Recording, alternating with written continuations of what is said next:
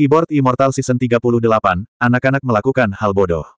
Dia melihat sosok mungil jatuh ke belakang. Bereaksi cepat, Zuan mengulurkan tangan dan meraihnya. Jari-jarinya melingkari tangan yang dingin saat disentuh, dan terasa sangat nyaman untuk dipegang. Mungkin karena dia telah berlari jauh-jauh ke sini, dia mulai merasa sangat hangat. Itulah mengapa tangan ini terasa sangat enak. Dia tidak pernah ingin melepaskannya. Dia memperhatikan siapa yang dia pegang, dan segera menjadi bersemangat. Xiao Xi, syukurlah aku bertemu denganmu. Saya butuh. Wajah Ji Xiaoxi memerah bahkan sebelum dia menyelesaikan kalimatnya.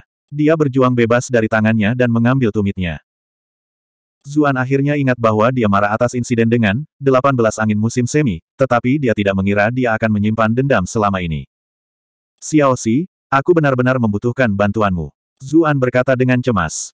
Qin Wanru hampir kehilangan kesadaran. Dia benar-benar lemas dalam pelukannya. Aku tidak membantumu. Ji Xiaoxi melirik wanita di lengannya. Dia tidak bisa melihat siapa itu, karena wajah Qin Wanru terkubur di dadanya. Pria ini benar-benar berlari ke arahku sambil memegang wanita lain di tangannya.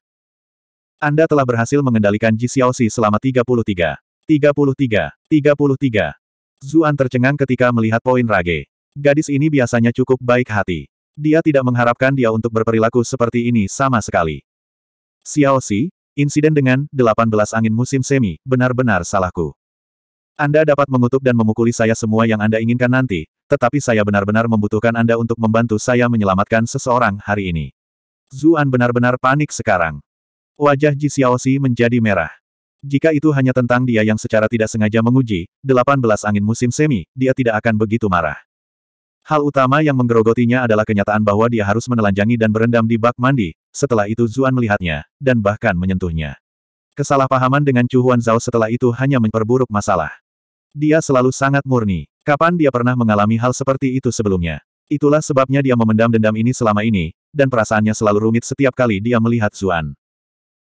Dia ingin menolaknya, tetapi sisi baik dan lembutnya menyadari ada yang tidak beres dengan wanita di pelukannya. Dia baru saja akan mengatakan sesuatu ketika teriakan marah bergema di sekitar halaman. 18 angin musim semi. Beraninya kamu menggertak putriku. Petik 2. Anda telah berhasil mengendalikan Jideng Tu untuk 678 poin kemarahan. Jideng Tu datang mengaum. Dia tampak seperti akan mencabik-cabik Zuan. Zuan melompat kembali ketakutan. Sebelum dia sempat menjelaskan dirinya sendiri, Ji Xiaoxi panik dan berkata, Ayah, ini tidak seperti yang kamu pikirkan. Bagaimana mungkin itu tidak seperti yang saya pikirkan? Aku baru saja mendengar kalian mengatakan, 18 angin musim semi. Beraninya bocah ini menggunakan obat kejam seperti itu padamu. Aku akan mengulitinya hidup-hidup. Jideng itu jelas seorang ayah yang overprotektif yang menyayangi putrinya tanpa henti. Namun, terlepas dari semua usahanya, mutiara yang telah dia pelihara dengan hati-hati selama bertahun-tahun ini telah diberikan kepada seekor babi. Obat ini membutuhkan 18 peluru untuk menghilangkan efeknya. Dia hampir meledak karena marah. Anda telah berhasil menjebak Jideng Tu selama 999. 999. 999. Wajah kecil Ji Xiaoxi sepenuhnya merah. Dia ingin menjelaskan banyak hal, namun dia tidak tahu harus mulai dari mana atau bagaimana. Merasakan kemarahan Jideng Tu yang meroket, Zuan tahu bahwa dia akan dicabik-cabik jika dia tidak segera memperbaiki situasi. Dia berseru, Dokter Surgawi Ji, kamu salah paham. Kami tidak sedang membicarakan Xiaoxi. Nyonya Chu yang telah menderita, 18 angin musim semi. Dia membalikkan Qin Wanru sambil mengatakan ini. Dia saat ini tidak sadarkan diri, dan kulitnya benar-benar merah. Suhu tubuhnya sangat tinggi, dan dia bahkan bisa merasakan panas melalui pakaiannya. Dia tidak tahu apakah itu karena efek obat, tetapi seluruh tubuhnya mengeluarkan aroma yang kaya.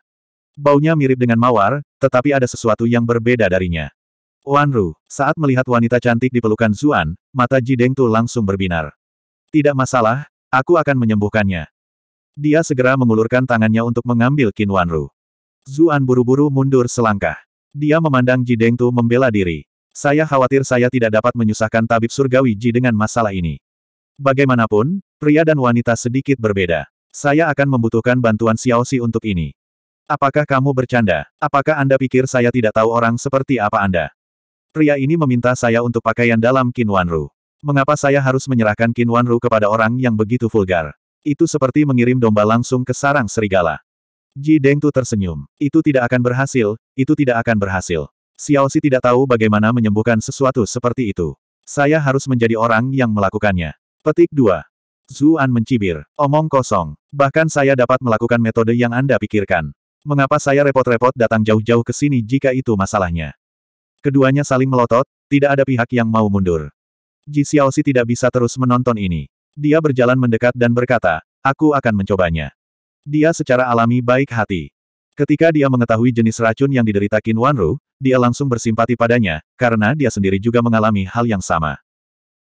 Zuan akhirnya santai ketika mengetahui bahwa dialah yang akan memberikan perawatan. Dia akan menyerahkan Qin Wanru ketika dia diingatkan akan sosoknya yang lembut. Dia memutuskan untuk membantunya membawa Qin Wanru ke dalam, takut dia tidak akan mampu menanggung berat badannya. Saat dia berjalan, Zuan berkata, dia juga terluka parah. Dia mungkin kehilangan nyawanya kapan saja. Petik 2. Jideng Tu telah kehilangan senyum sembrononya. Dia berjalan dengan cemberut. Setelah melihat luka di punggungnya, dia berkata, tinju yang menghancurkan hati. Hong Zong memberontak. Ini benar-benar tidak terduga. Zuan terkejut. Orang ini sepertinya mengenal klan Chu dengan cukup baik. Jideng Tu mengeluarkan pil dan memberikannya kepada Qin Wanru. Obat ini untuk sementara dapat melindungi arteri di sekitar jantungnya. Kami akan mendetoksifikasi dia terlebih dahulu dan kemudian mengobati luka-lukanya. Pemberian obat lain hanya akan memperburuk kondisinya. Kita harus bergerak cepat. Zuan terkejut ketika dia melihat betapa seriusnya ekspresinya. Apakah itu benar-benar buruk? Ini lebih buruk dari yang kamu bayangkan. Wajah Ji Dengtu benar-benar mendung. Dia berkata kepada Ji Xiaoxi, Xiaoxi, racun yang dia derita bukanlah 18 angin musim semi, melainkan Bull Scream. Gunakan metode detoksifikasi yang telah saya ajarkan sebelumnya. Gunakan pil yang menenangkan hati dengan ramuan bambu kekaisaran, air tanpa akar. Baiklah baiklah. Kalian harus tersesat. Ji Xiaoxi meletakkan tangan di punggung mereka dan mendorong mereka masing-masing, mengejar mereka sebelum membanting pintu hingga tertutup. Ji Dengtu telah berbalik dan baru saja akan mengatakan sesuatu.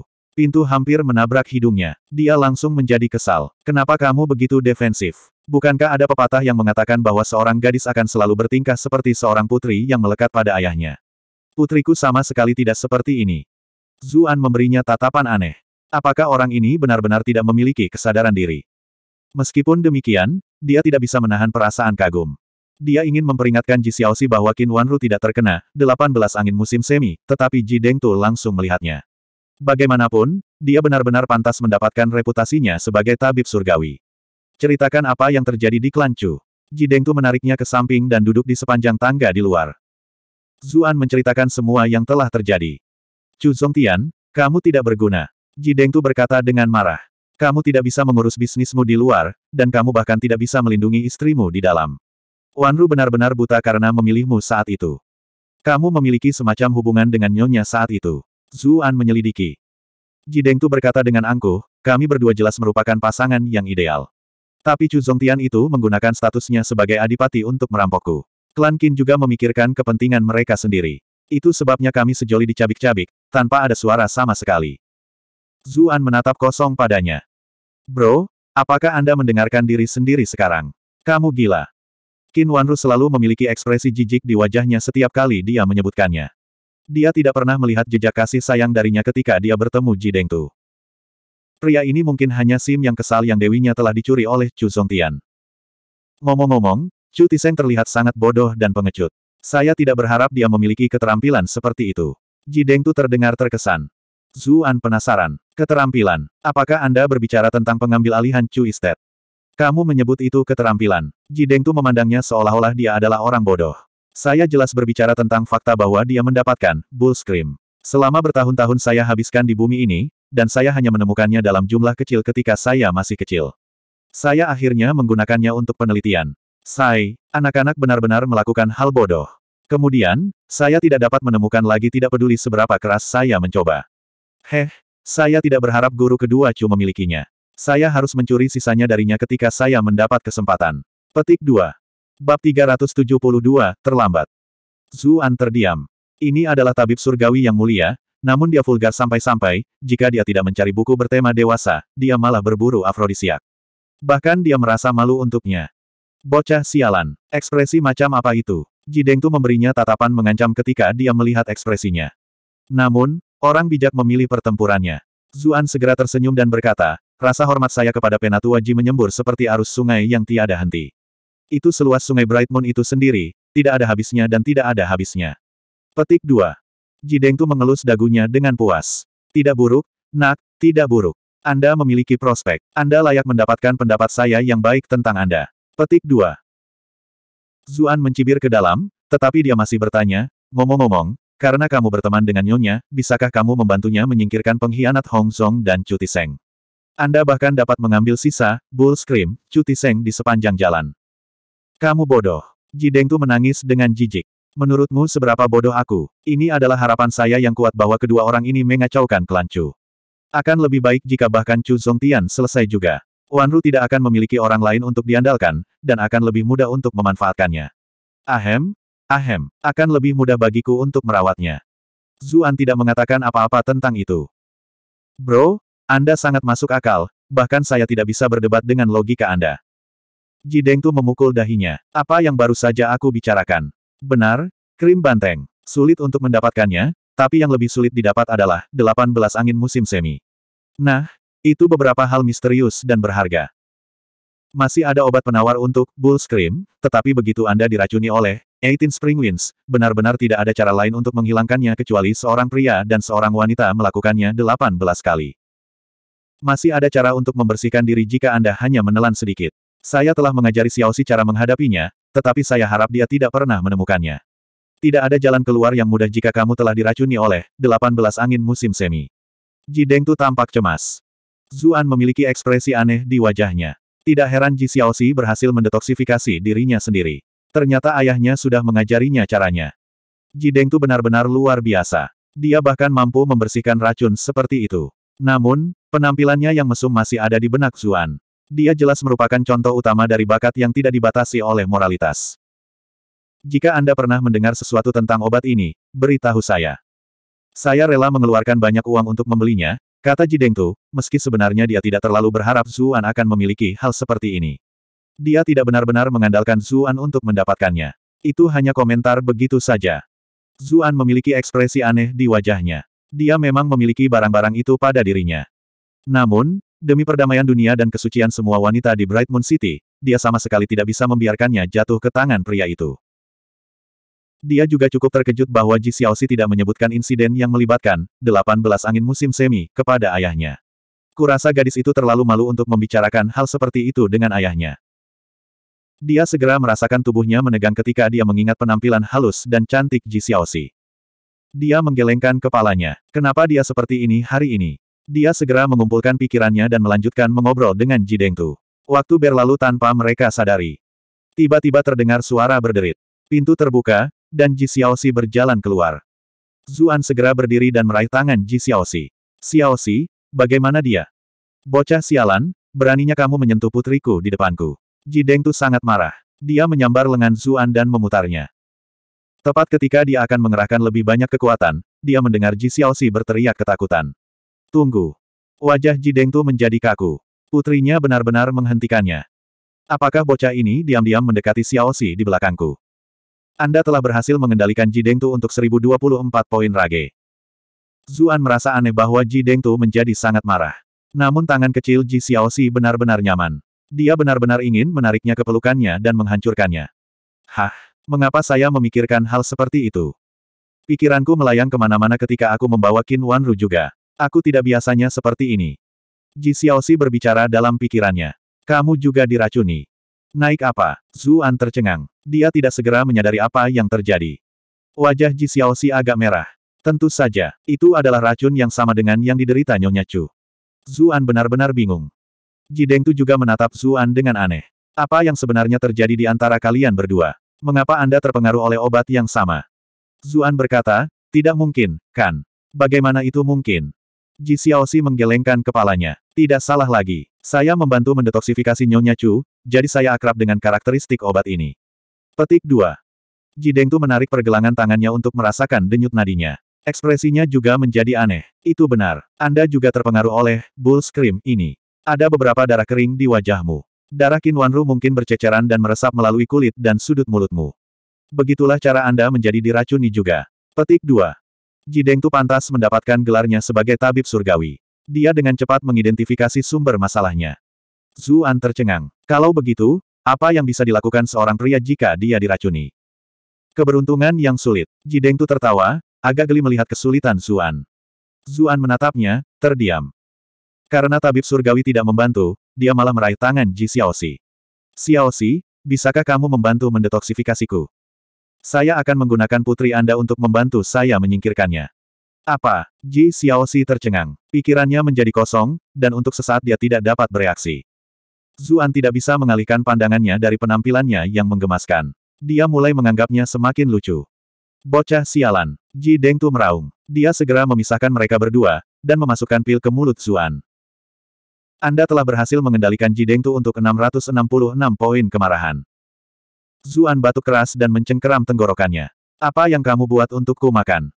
Ji Dengtu mendengus. Aku memberimu pil penenang hati. Bagaimanapun, Anda hanya diracuni secara tidak langsung, jadi Anda tidak memiliki terlalu banyak obat di sistem Anda. Anda akan baik-baik saja setelah minum pil itu. Petik 2. Benar saja, perasaan sejuk dan menyegarkan mulai menyebar dalam dirinya. Kegelisahan yang dirasakannya perlahan mereda. Pil yang sangat nyaman. Saya akan membutuhkan lebih banyak dari mereka. Zuan juga tidak tahu mengapa, tetapi hal semacam ini sepertinya selalu terjadi di sekitarnya. Jika dia memiliki beberapa pil ini, dia tidak perlu berlari jauh-jauh ke Ji Estate setiap saat. Ji Dengtu langsung menolaknya. Aku tidak memberimu apa pun. Aku akan membayarmu untuk mereka. Wajah Zuan menjadi gelap. Cowok ini tidak hanya vulgar, tapi dia juga serakah. Hem, kenapa aku merasa kepribadian kita mirip? Barang ini tidak untuk dijual. Itu untuk Xiaoxiku untuk melindungi dirinya sendiri. Ji Dengtu berkata dengan gusar. Orang ini benar-benar budak putrinya. Tapi saya kira itu akan dihitung sebagai salah satu dari beberapa poin bagusnya. Ji Xiaoxi menjadi cemas. Berhentilah berdebat, kalian berdua. Hal terpenting yang harus dilakukan adalah menyelamatkan Nyonya Chu sekarang. Meskipun kami telah membersihkan tubuhnya dari racun, kekuatan hidupnya sangat lemah. Dia bisa mati kapan saja. Zuan panik. Namun, Ji Dengtu lebih cepat. Dia bergegas ke kamar dan mengukur denyut nadi Qin Wanru. Kemudian, dia mengulurkan tangannya ke arah Zuan. Pil pengembalian jiwa. Saya tidak akan berhasil tepat waktu jika saya mulai meramunya sekarang. Petik 2. Zuan ingat bahwa dia telah membeli banyak obat dari tempat ini sebelumnya. Yang paling berharga dari semuanya adalah pil pengembalian jiwa. Dikatakan bahwa pil ini dapat menyeret siapa pun yang menelannya kembali dari ambang kematian, selama satu nafas masih tersisa di dalamnya. Dia tidak berani ragu. Dia mengambil satu dan memberikannya kepada Qin Wanru. Jika satu tidak cukup, haruskah saya memberinya satu lagi? Ji Dengtu menghentikannya. Satu sudah cukup. Efek obatnya sangat kuat. Memberinya lebih banyak akan menjadi bumerang dan memiliki efek sebaliknya. Setelah mengatakan ini, dia mengumpulkan konsentrasinya dan mulai mengobatinya menggunakan akupuntur. Zuan tidak berani mengganggu proses pengobatan. Dia menyaksikan dengan gugup dari samping. Ji Xiaoxi turun tangan untuk membantu ayahnya. Tetesan keringat terlihat terbentuk di dahi Ji Dengtu. Perlakuan ini jelas sangat melelahkan. Perawatan berkembang dalam waktu yang dibutuhkan untuk membakar dupa. Tiba-tiba, kulit Ji Dengtu berubah drastis. Ini buruk. Jika dia hanya menderita pukulan dari tinju penghancur hati, aku pasti bisa membawanya kembali. Namun, aliran darahnya dipercepat oleh Bull Scream yang memperkuat luka-lukanya. Mungkin sudah terlambat. Zuan merasakan darah mengalir deras ke kepalanya. Bukankah kamu seorang tabib surgawi yang berdarah?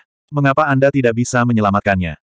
Anda hanya membual tentang bagaimana pil jiwa kembali apa pun itu dapat membawa seseorang kembali dari ambang kematian, selama mereka memiliki satu napas tersisa di dalamnya. Nyonya Chu masih memiliki begitu banyak nafas tersisa di dalam dirinya. Apakah kamu mempermainkanku? Petik 2. Bab 373, Mengejar. Ekspresi Ji Dengtu menjadi canggung. Pergantian peristiwa ini jelas membuatnya merasa malu juga. Aku sudah memberitahumu sebelumnya bahwa pil pengembalian jiwa berguna dalam sebagian besar situasi. Namun, ada beberapa situasi di mana itu tidak berguna. Ini jelas salah satu dari sedikit situasi di mana itu tidak berhasil. Petik 2. Zuan tidak percaya dengan apa yang dia dengar. Kurang ajar kau. Kembalikan uang saya. Dia baik dan benar-benar kesal. Kembalikan uangku kalau begitu. Anda menipu saya dengan begitu banyak uang untuk barang yang tidak dapat diandalkan seperti itu. Petik 2. Ji Dengtu melompat mundur. Dia berkata membela diri, saya tidak akan pernah mengembalikan uang Anda. Sama sekali tidak. Zuan meraih kerahnya dan meraung, kalau begitu selamatkan nyawa Nyonya Chu. Apakah kamu pikir aku tidak mau? Ji Dengtu mendorongnya menjauh. Dia berjalan ke samping dan duduk, menyalakan sebatang rokok. Asap mengepul ke atas, menutupi wajahnya. Zuan ingin mengatakan sesuatu yang lain, tetapi Ji Xiaoxi menangkapnya. Ah Su, jangan ganggu ayahku lagi. Dia juga menyalahkan dirinya sendiri untuk ini. Dia pasti mencoba memikirkan cara untuk menyelamatkannya sekarang. Xiao Xi, apakah menurutmu ayahmu bisa memikirkan sesuatu? Zuan bertanya dengan tidak sabar. Ji Xiaoxi menggelengkan kepalanya dan berkata pelan, ini akan sulit. Mengingat betapa buruknya keadaan Nyonya Chu saat ini, fakta bahwa dia masih hidup sudah merupakan keajaiban. Zuan putus asa ketika mendengar ini. Dia berjalan ke dalam. Qin Wanru berbaring dengan tenang di tempat tidur. Matanya tertutup, dan pipinya masih memiliki semburat kemerahan, sisa dari efek obat. Sosoknya masih memukau seperti sebelumnya, tetapi kulitnya masih pucat karena luka-lukanya. Zuan bingung. Jika sesuatu terjadi pada Qin Wanru, apa yang harus dia katakan pada Cuyan? Apa yang harus dia katakan pada Huan Zhao? Bahkan jika bukan demi mereka berdua, pendapatnya tentang Qin Wanru telah berubah setelah berada di dekatnya beberapa hari terakhir ini. Dia telah menyadari bahwa dia sama sekali tidak seperti yang dia pikirkan. Setelah bertarung berdampingan beberapa kali ini, persahabatan telah terjalin di antara mereka. Itu sebabnya dia tidak mau melihatnya mati, apa pun yang terjadi. Jideng Tu tiba-tiba bangkit. Aku mau jalan-jalan, katanya, suaranya berat. Dia langsung pergi tanpa menunggu jawaban mereka. Dia bahkan tidak repot-repot untuk melihat ke belakang.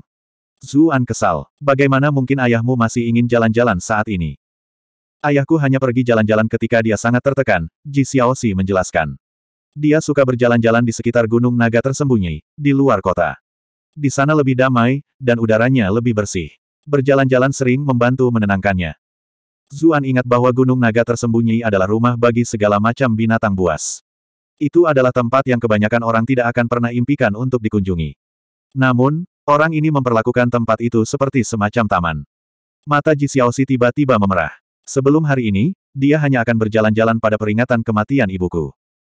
Zuan tercengang. Ibumu sudah meninggal. Saya belum pernah mendengar Anda menyebutkan itu sebelumnya. Petik 2. Ji Xiaoxi berkata, Ibuku mengalami kesulitan melahirkanku, dan kemudian dia. Maaf, seharusnya aku tidak membicarakan ini. Zuan terkejut. Bukankah Jideng Tu seorang tabib surgawi? Mengapa istrinya meninggal karena kelahiran yang sulit?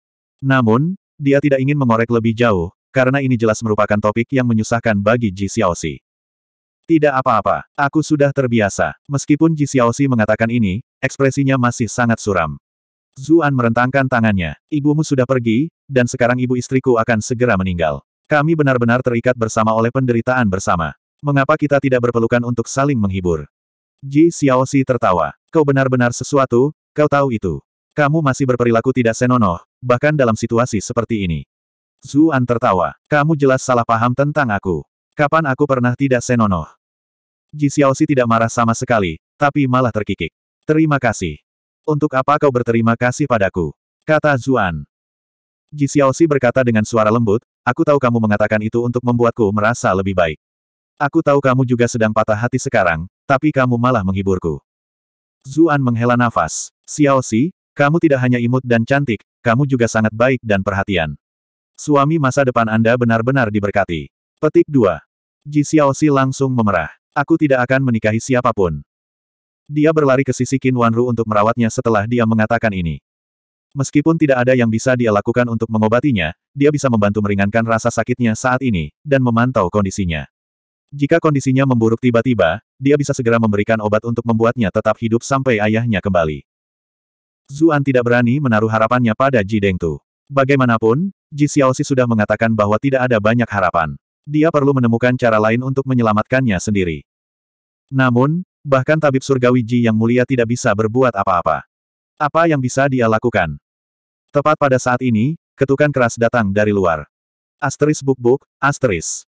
Asteris buk-buk-buk, asteris. Mengetuk bukanlah kata yang tepat, itu lebih seperti gedoran berat di pintu. Buka.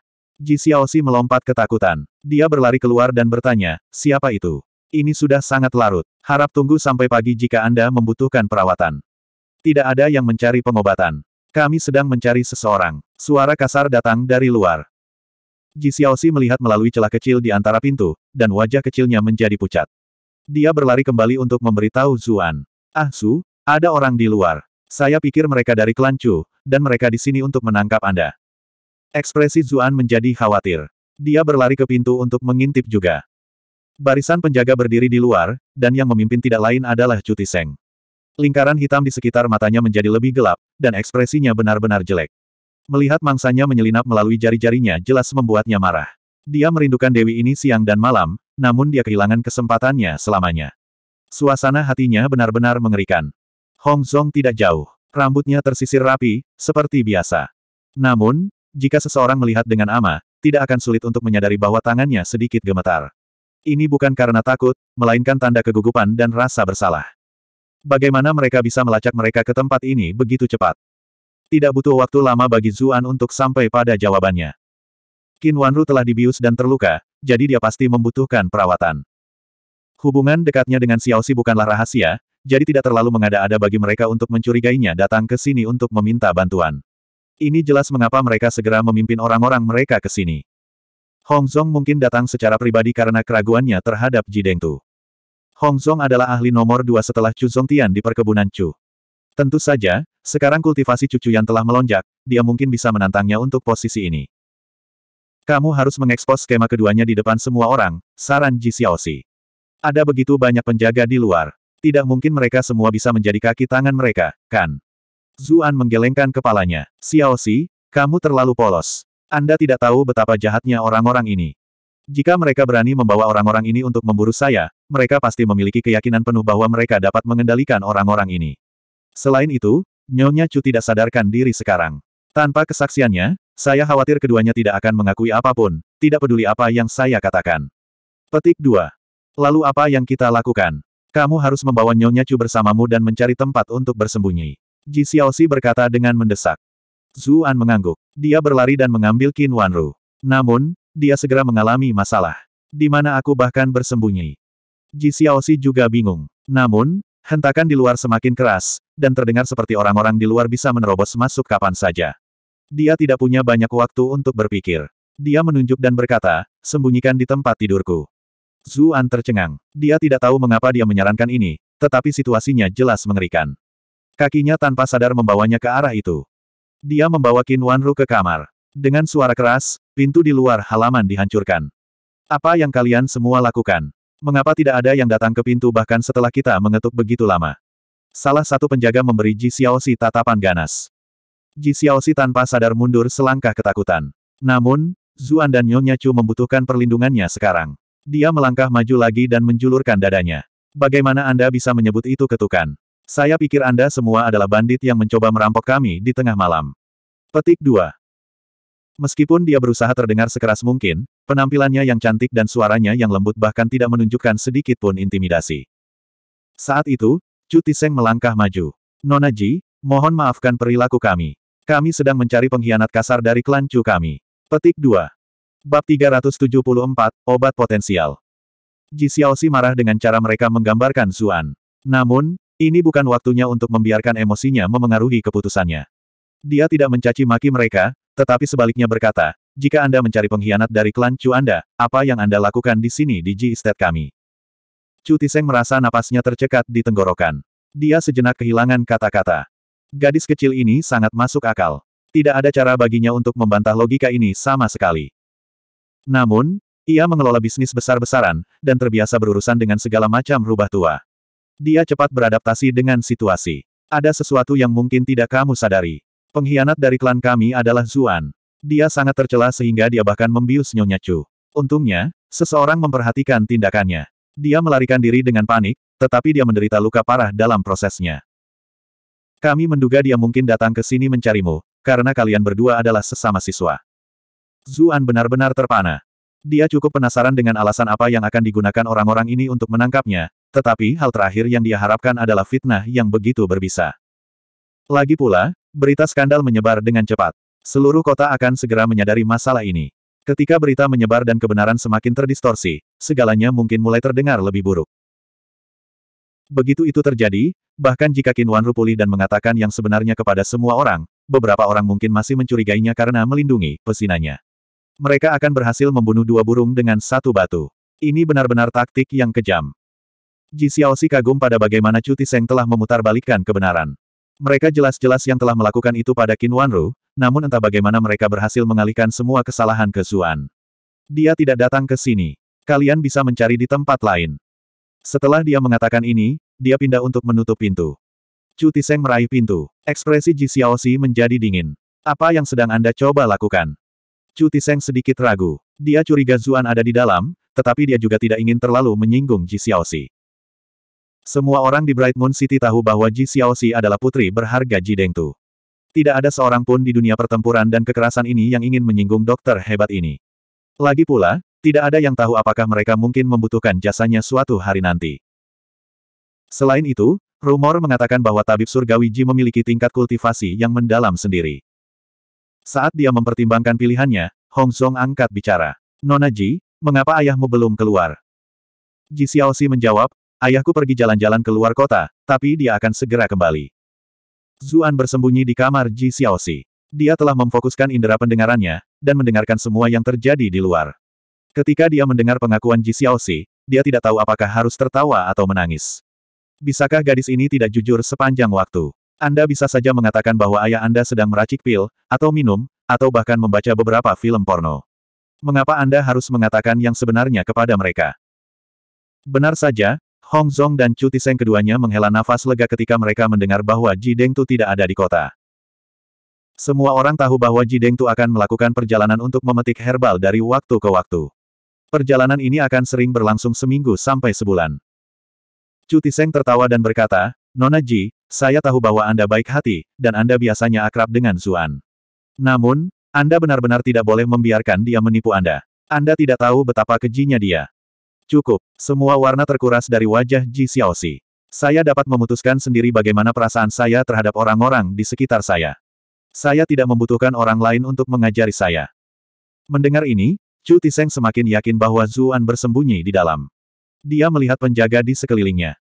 Orang-orang itu membalas tatapannya, lalu mulai berbaris masuk. Sosok Ji Xiaoxi kecil dan halus, bagaimana dia bisa menghentikan penjaga yang menakutkan ini? Dia dengan cepat kewalahan. Ji Xiaoxi cemas, dan lebih dari sedikit marah. Apa yang sedang kamu lakukan? Kalian membangunkan saya ketika saya sedang tidur, dan sekarang Anda menerobos masuk ke properti orang lain. Kapan Bright Moon City menjadi tempat tanpa hukum? Ayahku tidak akan membiarkan kalian pergi.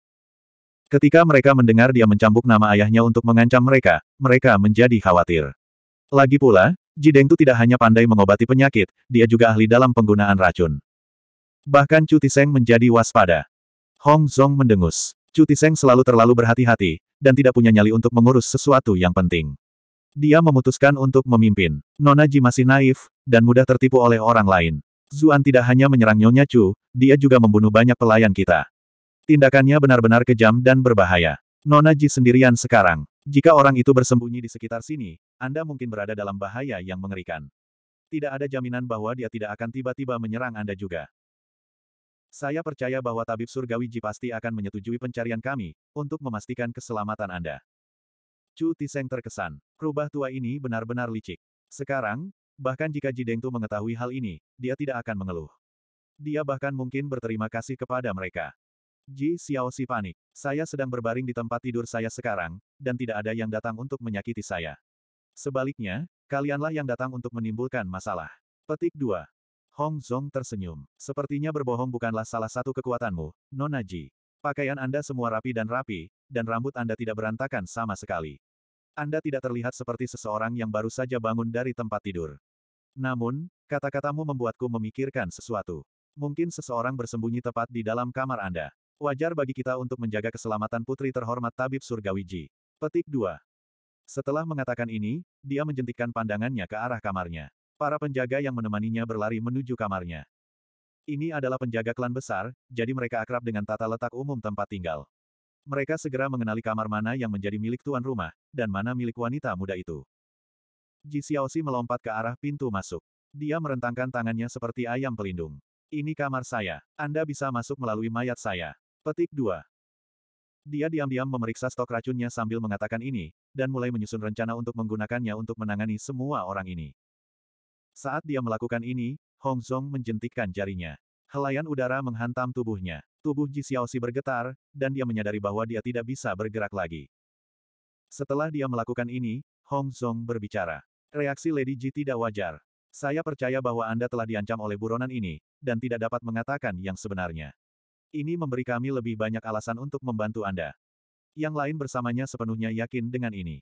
Mereka berjalan ke depan untuk mendorong pintu. Air mata hampir keluar dari mata Ji Xiaoxi. Namun, tidak ada lagi yang bisa dia lakukan sekarang. Di dalam ruangan, Zuan seperti macan tutul, siap menerkam. Dia siap untuk melompat keluar dan melawan mereka semua sampai mati. Tiba-tiba, teriakan menyedihkan datang dari luar. Satu demi satu, sosok samar terbang ke udara. Sosok tinggi dan ramping muncul di depan pintu masuk, rambutnya diikat dengan jepit rambut. Lehernya panjang dan adil, yang memberinya suasana yang mulia dan elegan. Namun, fitur yang paling menarik perhatiannya adalah kakinya yang sangat panjang, dibalut stoking hitam, cantik dan proporsional. Stoking bersinar dengan kilau yang mempesona. Namun, tidak ada yang berani memelototi mereka sekarang. Meskipun mereka cantik, mereka juga sangat mematikan. Para penjaga di belakangnya dengan mudah terlempar ke udara oleh kaki-kaki ini. Penjaga kelancu semuanya adalah prajurit elit, dan orang-orang yang dipanggil untuk operasi ini adalah yang terbaik dari yang terbaik. Namun, tidak ada dari mereka yang bisa melawan keganasan sepasang kaki ini. Bibi kecil, Ji Xiaoxi segera sangat gembira ketika dia melihatnya.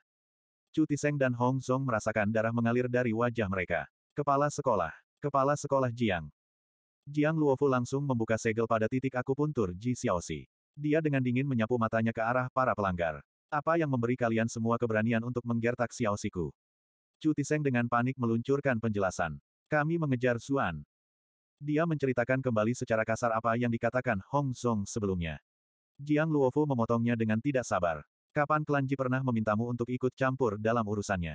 Saya tidak peduli tentang apa yang terjadi di dalam klan Chu Anda, tapi saya tidak akan mentolerir perilaku keterlaluan Anda di dalam Ji Estate. Nyah. Aura yang kuat keluar darinya begitu dia selesai berbicara. Semua orang dari klan Chu mengalahkan mundur tergesa-gesa. Bahkan Hong Zong dan Chu Tiseng tidak bisa menahan tekanan, dan mundur dari halaman dengan waspada. Jiang Luofu mendengus. Dengan lambaian lengan bajunya, pintu masuk utama terbanting menutup. Dia mendorong pintu bagian dalam dan berjalan ke dalam tanpa melihat keluar. Zuan mengepalkan tinjunya. Terima kasih, kepala sekolah. Jiang Luofu mengerutkan kening. Kenapa kamu ada di tempat tidur Xiaoxi? Apakah Anda mencoba memulai skandal? Lepaskan sekarang juga. Zuan tertawa canggung. Dia melompat turun dengan tergesa-gesa. Wajah Ji Xiaoxi semerah apel. Jiang Luofu duduk dan memeriksa kondisi Qin Wanru. Zuan dengan cepat mengulangi diagnosis Ji Dengtu. Setelah sedikit ragu, Jiang Luofu berkata, saya sebenarnya tahu cara lain. Bab 375, Situasi Menang-Menang. Zuan sangat gembira. Dia meraih lengannya dan bertanya, ada apa? Ji Xiaoxi juga penasaran. Lagi pula, bibinya tidak memiliki banyak pengetahuan medis, dan baik dia maupun ayahnya tidak bisa berbuat apa-apa tentang kondisi Qin Wanru. Metode seperti apa yang akan dia usulkan? Jiang Luofu menatap tangan Zuan dengan dingin. Zuan melepaskannya dengan rasa bersalah. Maaf-maaf, aku hanya cemas. Jiang Luofu melanjutkan, sayangnya, tidak ada gunanya bahkan jika saya menjelaskan metode ini kepada Anda. Bagaimana mungkin tidak ada gunanya? Tolong beritahu kami. Mungkin kita bisa memikirkan solusi jika kita bekerja sama. Ji Xiaoxi menangis panik. Dia selalu sangat tertarik pada obat-obatan, jadi dia sangat ingin mempelajari metode pengobatan baru. Dia juga secara alami baik hati, dan sangat berharap untuk kesembuhan Qin Wanru. Jiang Luofu ragu-ragu, tetapi pada akhirnya dia masih berkata, saya membaca catatan kuno yang menyatakan bahwa mereka yang memiliki bakat transenden yang juga telah mengembangkan, sutra asal primordial, memiliki kemampuan untuk menghidupkan kembali orang lain. Kemampuan transenden. Ji Xiaoxi tercengang. Tidak pernah ada orang dengan bakat transenden dalam ratusan tahun. Sangat jarang sehingga semua orang mulai percaya bahwa bakat transenden hanyalah legenda. Sutra asal primordial, ini bahkan lebih tidak pernah terdengar. Tidak heran bibinya merasa bahwa tidak ada gunanya baginya untuk mengatakan apa pun.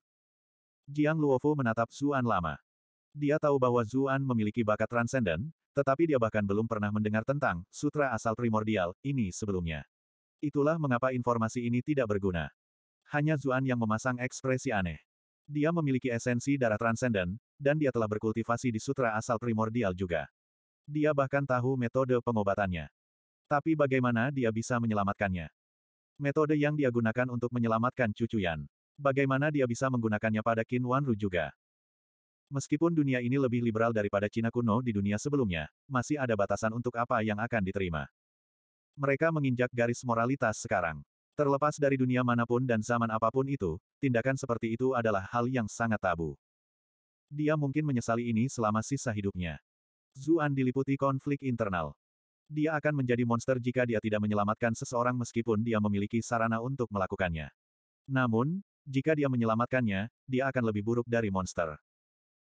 Jika Qin Wanru adalah wanita lain, Zuan akan langsung masuk, terikat tugas. Qin Wanru adalah satu-satunya orang yang tidak bisa melakukan ini dengannya. Kalian semua tidak perlu mengkhawatirkanku lagi. Saya sudah tahu bahwa saya ditakdirkan. Suara lemah Qin Wanru menembus kesunyian. Dia berjuang untuk posisi duduk. Zuan dengan cepat bergerak untuk mendukungnya. Qin Wanru memberinya tatapan bersyukur. Mengumpulkan kekuatannya, dia berkata, saya tidak memiliki banyak penyesalan, tetapi saya khawatir tentang Huan Zhao, karena dia masih di Cui State, dan Song Tian saya juga dikurung. Ah Su, bisakah kamu berjanji padaku? Petik 2. Rasa sakit yang luar biasa menusuk hati Zuan. Dia segera memotongnya. Ini belum waktunya untuk kata-kata terakhir. Dia segera berbalik dan berkata kepada Jiang Luofu dan Ji Xiaoxi, saya memiliki beberapa hal yang perlu saya katakan kepadanya secara pribadi. Bisakah kalian memberi kami sedikit waktu sendirian? Kedua wanita itu jelas tidak akan pernah menolaknya dalam situasi seperti ini. Mereka mengangguk dan meninggalkan ruangan. Zuan tiba-tiba memanggil Jiang Luofu. Kepala sekolah, Tolong jangan dengarkan percakapan kita. Kultivasinya terlalu tinggi. Dia bisa dengan mudah mendengarkan apa yang akan mereka diskusikan di dalam ruangan. Jiang Luofu menempelkan bibirnya sebentar. Jangan khawatir, aku tidak tertarik dengan percakapanmu. Anda telah berhasil mengendalikan Jiang Luofu untuk 111 poin kemarahan. Qin Wanru menatap Zuan dengan bingung. Apa yang ingin kau katakan padaku? Zuan dengan cepat menutup pintu, lalu mendekat ke telinga Qin Wanru. Merasa tidak nyaman dengan kedekatannya dengannya, Qin Wanru tanpa sadar pindah. Zuan dengan cepat berkata, aku akan memberitahumu sesuatu yang sangat penting. Tidak ada orang lain yang tahu tentang ini. Qin Wanru berhenti bergerak ketika dia mendengar ini. Namun, matanya masih bersinar dengan kebingungan. Setelah sedikit ragu, dia berkata, apakah Anda mendengar kepala sekolah Jiang menjelaskan kemungkinan metode pengobatan? Qin Wanru mengangguk. Bukankah itu membutuhkan seseorang dengan bakat transenden dan sutra asal primordial? Kedua hal ini hanya ditemukan dalam legenda, jadi tidak perlu membuang waktu untuk memikirkannya.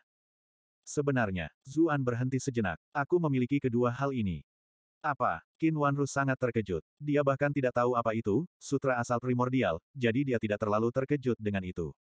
Namun, pengetahuannya tentang bakat transenden tidak bisa lebih jelas. Itu adalah sesuatu yang langsung dari legenda. Bakat Cucuyan telah membuatnya diakui secara publik sebagai seorang jenius. Dengan bakatnya, dia mampu mencapai tingkat kultivasi yang begitu tinggi di usia yang begitu muda, yang mendapat pujian tanpa akhir dari semua orang yang melihatnya. Dia tidak bisa membayangkan kemungkinan seseorang dengan tingkat bakat yang lebih tinggi. Jangan khawatir tentang hal lain sekarang, kata Zuan buru-buru. Meskipun aku punya cara untuk menyelamatkanmu, metode ini sangat memalukan. Anda harus menjadi orang yang memilih apakah Anda ingin diperlakukan atau tidak. Petik 2. Qin Wanru bingung. Tentu saja aku ingin kamu menyelamatkanku. Mengapa saya tidak menginginkan itu? Pengkhianatan Cuti Seng dan Hong Zong telah menyalakan api besar di dalam dirinya. Setelah dia pulih, sudah waktunya untuk membalas dendam. Jika dia mati, itu hanya akan memudahkan kursi kekuasaan di klan Chu untuk bergeser. Huan Zhao kemungkinan besar akan menemui akhir yang menyedihkan, dan suaminya sendiri pasti tidak bisa diselamatkan. Sebelumnya, dia berpikir bahwa dia pasti sudah mati. Dia bahkan mulai mengucapkan kata-kata terakhirnya sebelumnya. Bagaimana dia bisa menyerah sekarang, ketika ada harapan? Melihat ekspresinya yang tidak pasti, Qin Wanru berkata, Jangan khawatir, saya akan bekerja sama dengan Anda tidak peduli seberapa keras atau menyakitkan itu. Saya akan puas bahkan jika Anda hanya bisa membuat saya tetap hidup cukup lama untuk melihat klan Chu stabil kembali. Konflik di dalam Zuan terlihat jelas. Nyonya, saya mendorong Anda untuk tidak setuju terlalu cepat. Tolong izinkan saya menjelaskan apa yang dibutuhkan perawatan terlebih dahulu. Dia memberikan penjelasan singkat tentang bagaimana sutra asal primordial dan esensi darah transenden digunakan dalam pengobatan. Dia bahkan memberitahunya tentang pengalamannya dengan cucuyan di ruang bawah tanah. Qin Wanru bingung pada awalnya, yang perlahan berubah menjadi syok. Pada akhir penjelasannya, wajahnya benar-benar merah. Cukup, Anda tidak perlu mengatakan apa-apa lagi. Saya sama sekali tidak akan setuju dengan metode ini. Petik 2. Ketika dia memikirkan dia dan Zuan, dia menggigil. Diselamatkan dengan cara itu akan menjadi nasib yang lebih buruk daripada kematian. Zuan tersenyum pahit. Sudah kubilang akan jadi seperti ini. Metode ini terlalu memalukan, bukan? Petik 2. Reaksinya benar-benar diharapkan. Dia menghela nafas. Sepertinya kita hanya bisa menerima takdir. Qin Wanru akhirnya mengerti mengapa ekspresinya begitu bertentangan selama ini.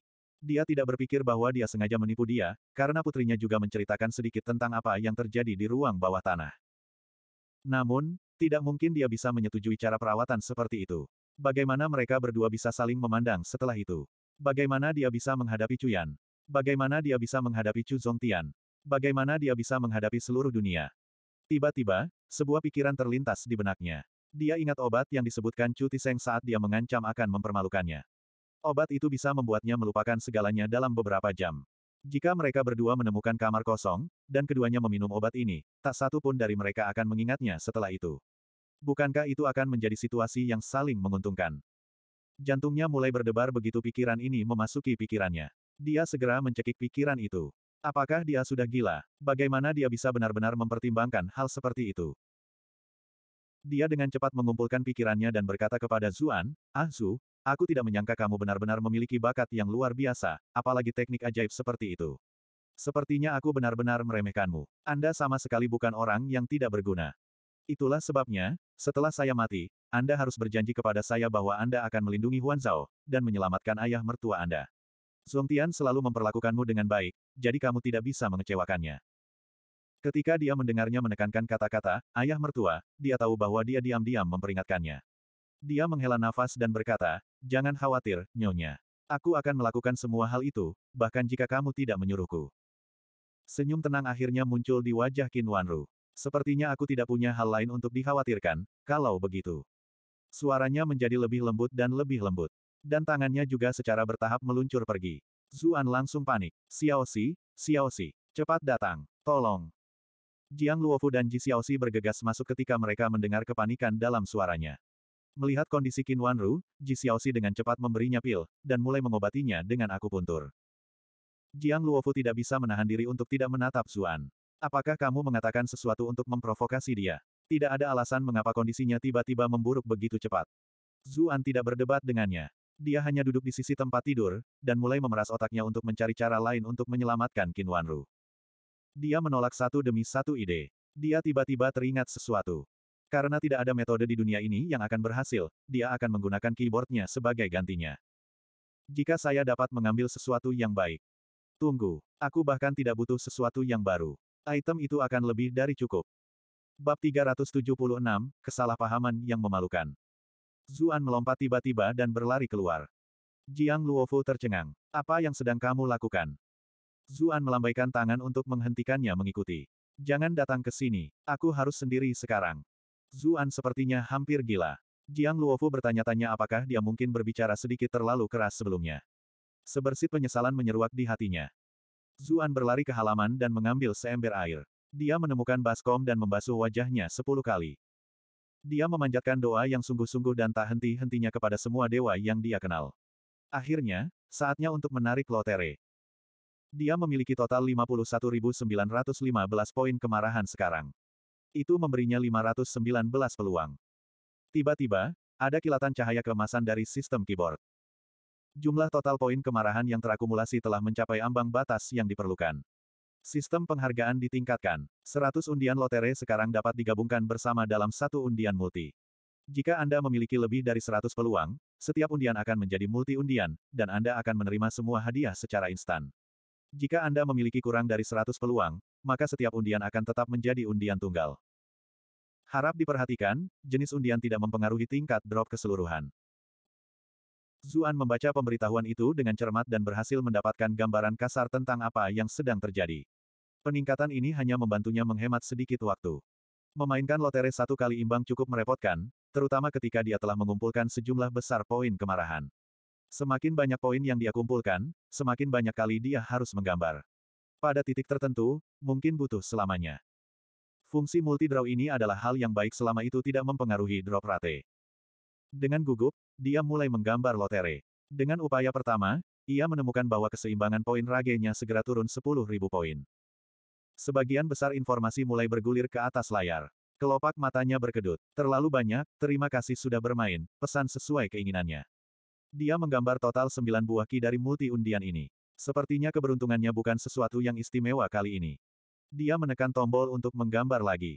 Cahaya berkedip-kedip di keyboard, dan dia dihadapkan dengan dinding lain dari teks bergulir. Kali ini, tangkapannya adalah 16 buah ki. Ini adalah tingkat yang jauh lebih baik daripada yang pertama kali. Namun, dia tidak merasa begitu bahagia. Ini bukan yang dia butuhkan saat ini. Dia menekan tombol untuk menggambar lagi. 10.000 poin lainnya menghilang. Dia mendapatkan 12 buah ki lagi. Zuan mulai panik. Pada levelnya saat ini, setiap formasinya membutuhkan jumlah buah ki yang gila untuk diisi. Selusin lebih atau selusin lebih sedikit buah ki tidak ada bedanya. Dia mencoba menyelamatkan seseorang. Dia harus mendapatkan barang itu. Dia baru saja akan melakukan multi-draw keempatnya ketika sebuah pikiran muncul di benaknya. Dia berlari untuk mencuci wajahnya lagi, dan kemudian berkonsentrasi pada undian. Kali ini, dia mendapat sebelas buah ki dan sebotol merah. Yayah! Zuan berteriak kegirangan. Mencuci wajahmu berhasil. Aku benar-benar mendapatkannya. Botol merah ini jelas, Fight in Brother Spring. Ini sama dengan ramuan pemulihan di video game. Tidak peduli seberapa buruk kondisimu, yang harus kamu lakukan hanyalah mengambil satu ramuan dan kamu baik untuk melakukannya lagi. Dia sedang tidak mood untuk melanjutkan menggambar. Dia langsung berlari kembali ke dalam. Ji Xiaoxi saat ini sedang memeriksa luka Qin Wanru. Ketika dia melihat Zuan tiba-tiba menerobos masuk, dia buru-buru menutupi tubuh Qin Wanru dengan pakaiannya lagi. Kakak Su, mengapa kamu tidak mengumumkan bahwa kamu akan masuk lebih dulu? Dia mengeluh. Dia memperhatikan bahwa dia memanggilnya dengan cara yang biasa. Jelas, dia sudah melupakan dendamnya terhadapnya, dan telah memaafkannya. Dia menjadi lebih bahagia. Hahaha, saya telah menemukan cara untuk menyembuhkan Nyonya Chu. Apa? Ji Xiaoxi baru saja berhasil membawa Qin Wanru kembali dari gerbang neraka, dan itu adalah prestasi yang sangat sulit. Sebenarnya, dia tidak membawanya kembali. Qin Wanru masih berlama-lama di perbatasan menuju alam baka. Bagaimana mungkin Ji Xiaoxi tidak terkejut dengan pernyataan tiba-tiba Zuan bahwa dia punya cara untuk menyelamatkan Qin Wanru? Jiang Luofu juga bingung. Dia telah memperhatikan saat Zuan berlari mengelilingi halaman, membasuh wajahnya dengan marah. Sepertinya dia sudah gila. Dia tidak pernah berharap bahwa dia akan tiba-tiba berlari kembali dan menyatakan bahwa dia telah menemukan solusi. Zuan tidak mau repot menjelaskan. Dia berlari dan mendukung Qin Wanru ke posisi yang lebih tegak. Anehnya, saat dia meletakkan tangannya di punggungnya, tangan itu bersentuhan dengan sesuatu yang lembut dan hangat. Dia terkejut. Rupanya, Ji Xiaoxi tidak punya waktu untuk mendandaninya lagi dengan benar setelah merawatnya. Kamu, Ji Xiaoxi menghentakkan kakinya dengan marah. Dia jelas kesal. Jiang Luofu juga menatapnya dengan aneh. Bocah sialan, apakah kamu melakukan ini dengan sengaja? Pergi keluar dan tunggu sampai kita bisa mendandaninya dengan benar. Petik 2. Zuan menggelengkan kepalanya. Tidak, tidak ada waktu untuk disia-siakan. Kehidupan Qin Wanru tergantung pada seutas benang. Jika mereka gagal menyelamatkannya karena mereka sedikit terlambat, penyesalan yang dia rasakan mungkin cukup untuk membunuhnya. Dia mengeluarkan botol, Fight in Brother Spring, dan memberikannya kepada Qin Wanru. Kulitnya membaik saat cairan memasuki tubuhnya. Beberapa saat kemudian, Qin Wanru perlahan membuka matanya. Hatinya bebas dari rasa sakit yang menusuk yang dia rasakan selama ini. Dia terkejut. Apakah saya mati? Zuan tertawa terbahak-bahak. Tentu saja tidak. Aku menyelamatkanmu. Kamu menyelamatkanku. Qin Wanru tertegun sejenak. Kemudian, dia ingat perawatan yang dia jelaskan padanya sebelumnya. Ketika dia melihat bahwa pakaiannya setengah terbuka, kemarahan dan penghinaan berkobar di dalam dirinya. Kamu keparat. Dengan ayunan tangannya, dia menamparkan wajahnya. Asteris Pa, Asteris. Anda telah berhasil mengendalikan Qin Wanru untuk 1024 poin kemarahan. Zuan benar-benar tenggelam dalam kegembiraan menyelamatkannya. Hal terakhir yang dia harapkan adalah dia tiba-tiba menyerang wajahnya. Tamparan tiba-tiba ini membuatnya linglung. Ji Xiaoxi dan Jiang Luofu sama-sama tercengang. Mereka tidak tahu mengapa Qin Wanru akan memukul Zuan. Bukankah seharusnya dia senang bahwa dia telah diselamatkan? Seluruh tubuh Qin Wanru gemetar. Dia mendorong Zuan ke samping. Tindakanmu telah mengecewakan Cuyan dan Huan Zhao. Anda telah mengecewakan Song. Petik 2. Di tengah kalimatnya, dia tiba-tiba melihat Jiang Luofu dan Ji Xiaoxi di sampingnya, ekspresi tercengang di wajah mereka. Dia berhenti berbicara sekaligus. Karena skandal itu sudah terjadi, prioritas pertama adalah mencegah berita itu menyebar ke orang lain. Itu akan membantu Klan Chu menghindari rasa malu lebih lanjut. Zuan baru saja akan menjelaskan dirinya sendiri ketika Jiang Luofu angkat bicara. Nyonya Chu mungkin masih sedikit pusing karena luka-lukanya, mengingat betapa parahnya luka-luka itu. Dia tampaknya sedikit terlalu gelisah sekarang. Mungkin lebih baik jika Anda menunggu di luar. Petik 2. Dalam keadaan linglung, Zuan membiarkan dirinya diantar keluar. Angin dingin yang bertiup melintasi halaman yang tandus membantu menyadarkannya kembali. Apa di dunia yang saya lakukan untuk mendapatkan ini? Dia telah melakukan semua yang dia bisa, namun ini adalah bagaimana dia dilunasi. Ji Xiaoxi menemukan satu set pakaian baru untuk Qin Wanru ganti. Jiang Luofu tidak bisa menahan rasa penasarannya lebih jauh. Nyonya Chu, Zuan baru saja menyelamatkan hidupmu. Kenapa kau memukulnya? Aku, wajah Qin Wanru memerah. Pikirannya ada di mana-mana. Dia melakukan itu padaku. Bagaimana saya bisa menerimanya begitu saja? Naluri pertamanya adalah membunuhnya, tetapi bagaimanapun juga dia telah menyelamatkannya. Banjir pikiran membanjiri pikirannya, tetapi tidak satupun dari mereka yang koheren. Dia tidak tahu bagaimana dia akan menghadapi Zuan lagi. Atau Cuyan, atau suaminya. Jiang Luofu dan Ji Xiaoxi berada tepat di sebelahnya, jadi mereka mungkin tahu tentang apa yang terjadi juga. Akhiri saja aku. Saat pikirannya terus bergolak dengan kegelisahan, Ji Xiaoxi tiba-tiba berkata, aku ingin tahu di mana kakak laki-laki Zhu menemukan botol obat ajaib itu. Itu benar-benar dapat menghidupkan kembali seseorang dari kematian. Qin Wanru menegang. Dia berbalik dan melihat Ji Xiaoxi mengambil botol kristal bening.